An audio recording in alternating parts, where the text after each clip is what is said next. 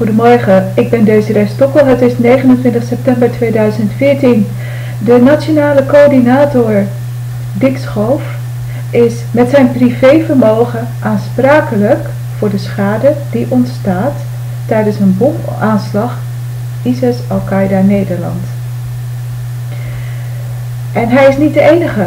Alle leden van het parlement en alle leden op de veiligheidslobby, dus ook Rob de Wijk en dergelijke, leden van de koninklijke familie op die veiligheidslobby zijn allemaal met hun privévermogen aansprakelijk voor schade die slachtoffers oplopen door zo'n bomaanslag.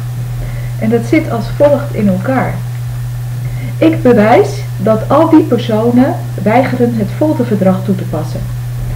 Zij willen dat het parlement, de koninklijke familie en de gemeenteambtenaren de vrijheid hebben om burgers te folteren en te vermoorden.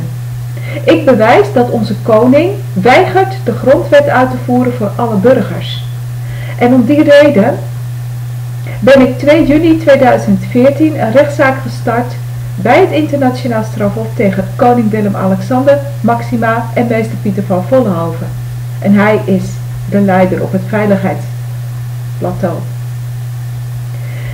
Ik ben die rechtszaak gestart omdat ik al zeven jaar lang als rechtenloos mens moet voortploeteren in Nederland. Ik heb helemaal geen toegang meer tot de grondwet. Ik kan mijn eigen zaken niet regelen. Ik word met de dood bedreigd door politici die dit negeren. Door de, met, door de koninklijke familie. Door die Dick Schoof zelf, die dit allemaal negeert. De personen en de organisaties die ik oproep, of opnoem, sorry, um, hebben de wettelijke plicht ervoor te zorgen dat elke burger in Nederland toegang heeft tot de grondwet. En dus altijd naar een klachtencommissie, een ombudsman, een advocaat, een rechtbank, een universiteit en dergelijke kan. Ik kan dat dus niet. Nou, die personen, die elite, die weigert dat voor elke burger te waarborgen. En dat bewijs ik. Wanneer er nu een IS-aanslag is in Nederland, dan zijn de slachtoffers wettelijk verplicht mijn dossier te lezen van de rechtszaak die ik ben gestart tegen Nederland bij het internationaal strafhof en die ook te gebruiken. Zij zijn verplicht om zich los te koppelen van het parlement, de koninklijke familie, de gemeente en iedereen op, die, op dat veiligheidslobbyplatform. Dat doe je met het folterverdrag.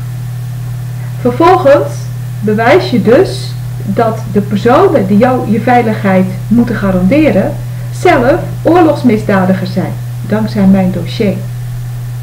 Omdat het dan gaat om individuen en niet om organisaties, is elke persoon zelf individueel privé aansprakelijk. Het fotoverdrag geldt natuurlijk in eerste instantie voor het parlement en het koninklijk huis en de coördinator terrorismebestrijding, de AIVD en IVD en al die veiligheidsclubjes. Maar nadat je het, het, niveau van de organisaties hebt gehad, geldt het folterverdrag ook voor elk individu dat werkt binnen zo'n organisatie. En als die persoon weigert dat folterverdrag te gebruiken om ervoor te zorgen dat alle burgers in Nederland toegang hebben tot de grondwet en dus ook weten hoe veiligheid en gevaar in elkaar zitten, dan is die persoon een oorlogsmisdadiger. Dick Schoof is juridisch aantoonbaar een oorlogsmisdadiger. En als mensen dus verwikkeld raken in een IS-aanslag, dan is hij met zijn hele privé persoon en privé vermogen aansprakelijk voor de schade. Dag.